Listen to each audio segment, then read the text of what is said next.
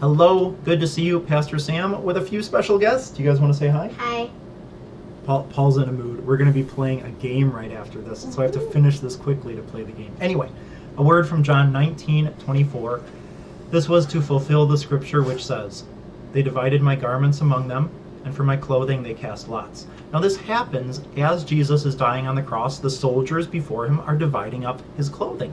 And John is pointing us towards Jesus fulfilling this prophecy, which doesn't exactly sound like a prophecy. There weren't people walking around with checklists having this one on there.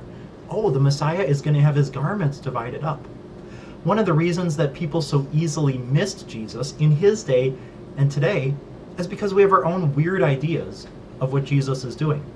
But the more and more we learn and know about God's Word, the more clearly we see how Jesus fulfills everything, even those passages that don't remotely sound like messianic.